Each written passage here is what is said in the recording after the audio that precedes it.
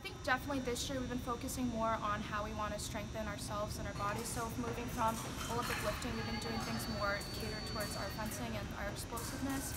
Um, and even with new coaches, we've had new drills that we've been doing. So in terms of conditioning, I think everyone's in pretty good shape this year. So I think for Temple, we're mostly ready.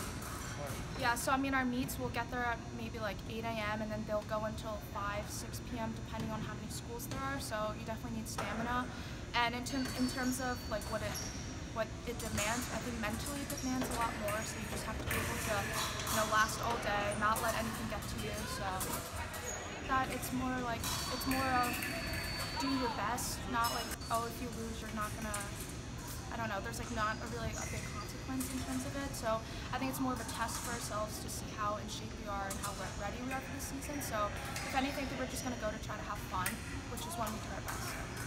All right. Thank you so much, and good luck this weekend. Thank you.